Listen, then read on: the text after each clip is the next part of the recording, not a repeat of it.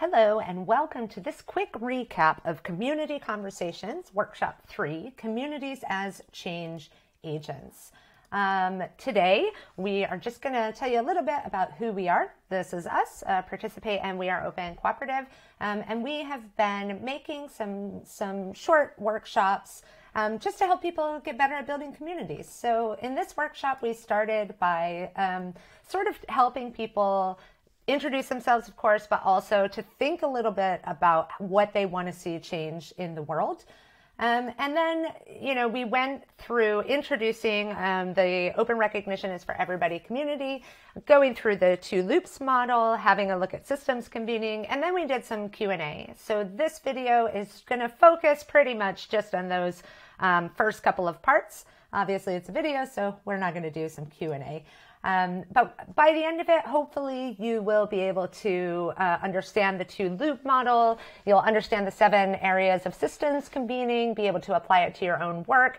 Um, and if you've watched the other couple of videos, you will be able to um, see the relationships between value cycles, maturity systems, and convening systems.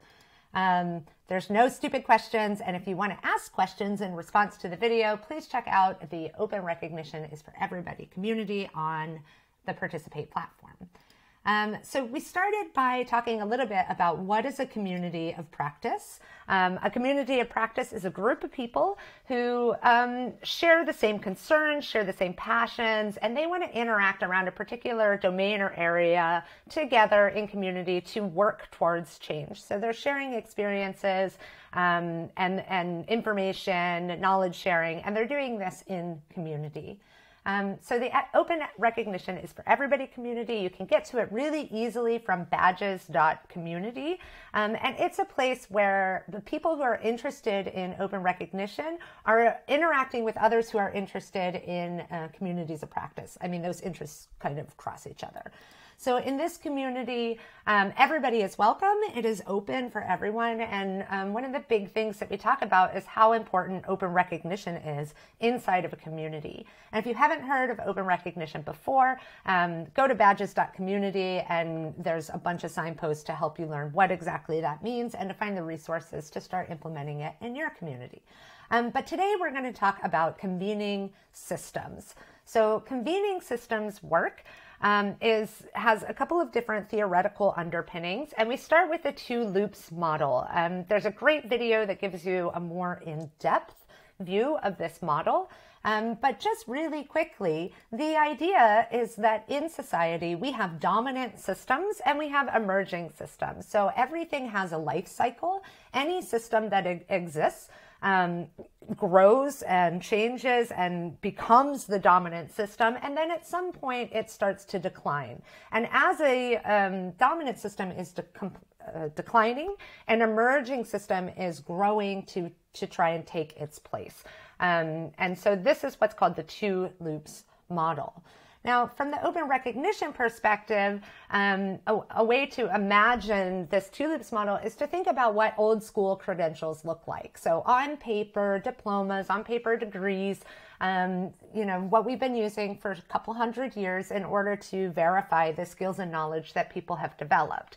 And then we think about what does the emergent system look like? Open recognition. So in uh, 2023, when we're recording this video, um, there is tons of technology that allows us to recognize more about a particular person's um, behaviors, social skills, all of these things. So open badges is a really um, good example of an emerging system. And those innovations under the blue arrow are um, other other innovations in this space. So the idea is as we develop open recognition in the world, old school credentials will start to decline as being the dominant system. And hopefully someday we live in a world where it's not just the credential you have hanging on your wall, but rather a, a robust system of community recognition that helps people in their lives.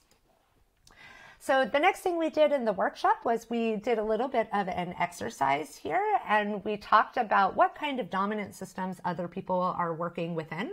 Um, and we saw a lot of great examples. We saw um, political systems that people think are the dominant system that's starting to change. Um, and, you know, things around, around really specific systems in terms of like housing resources and how a dominant system, say, using a technology like, um, I don't know, Google Drive could be replaced by an emerging system like a wiki. Uh, where you don't have to um, deal with the sharing features. So there's a lot of ways to look at what a system actually is, and you can go quite, um, you can really go into it. Um, so systems convening is about bringing together people, um, different people that are working in those emergent systems um, and helping them to facilitate the kinds of conversations um, that will push an emergent system further along. So there's a lot of different contexts for systems convening, um, and you can find all of these in the Social Learning Labs uh, site. At, it's at bit.ly slash systems convening. You can learn a lot more about this. Um, but we're particularly focused in convening systems through community development. Um, so these are the seven steps of uh, systems convening, and this is kind of hard to see, hard to read. And so in the Open Recognition is for Everybody community, we just tried to make it a little bit more graphic. Um, so the kinds of um, the the seven system steps are to start with narrative work, you craft a convening call.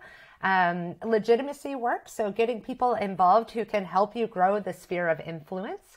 Boundary work, so working across silos. So, for example, open recognition is for everybody, works across higher education, um, volunteer communities. We, we really want to make sure that open recognition is part of community development. So, that's across silos. Identity work is helping people to gain the mental model of what the old credentialing system looks like and what the new one could look like. Um, agency work is developing communities that allow people to, to act and have agency. Um, power work is dealing with the power structures within a dominant system. And narrative work at the end, the seventh step, is to actually share what's, what's happened, articulate the value. So these are some of the steps of what it looks like in practice. Um, so things like building trust by talking to people one on one or showing that you understand what people care about.